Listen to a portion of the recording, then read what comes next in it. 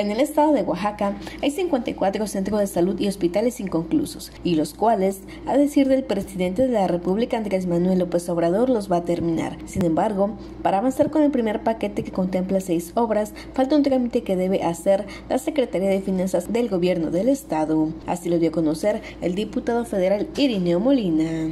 Eh, ya se tiene un paquete listo de seis centros de salud de estamos esperando solamente que la Secretaría de Finanzas del Gobierno del Estado formalice la solicitud ante la Secretaría de Hacienda y Crédito Público, donde viene en primer momento pues el Centro de Salud de San Bartolo, viene también un Centro de Salud de Vega del Sol, Jacatepec y otros cuatro del Estado.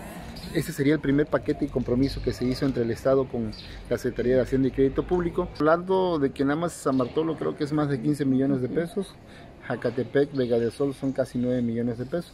Es una bolsa grande, de, arriba de 50 millones de pesos entre los, los seis inmuebles que estamos hablando. Pero es seguro que en este año ya se... Es, es seguro, ya se tiene todo, te digo, solamente falta eh, la solicitud formal de, por parte de la Secretaría de Finanzas del Estado a la Secretaría de Hacienda y Crédito Público para obtener estos recursos. Terminando estas seis obras, iniciarán con la gestión para el segundo paquete y lo que pretenden es que sea en este 2020 cuando también inicien con la construcción de algunas y la terminación de otras obras, como es el caso del Hospital de Jalapa de Díaz.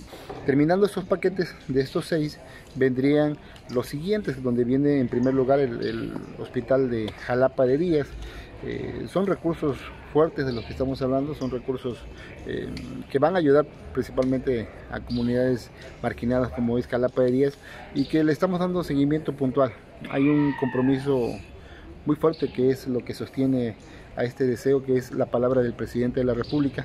Él se ha comprometido en repetidas ocasiones que viene a Oaxaca en sacar adelante estos pendientes.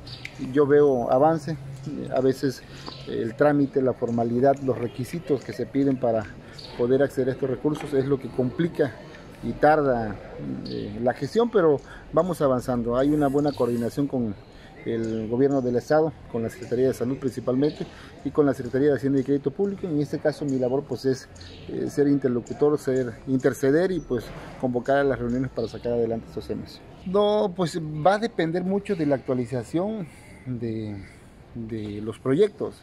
Son proyectos que ya existían, pero el certificado de necesidad de ese, esa acta de nacimiento que, requieren para poder ingresar a los recursos, pues tiene un tiempo, una periodicidad que se pasó, no se cumplió y ahorita hay que hacer todo el proceso de actualización. Eh, aquí ayuda mucho la palabra del presidente.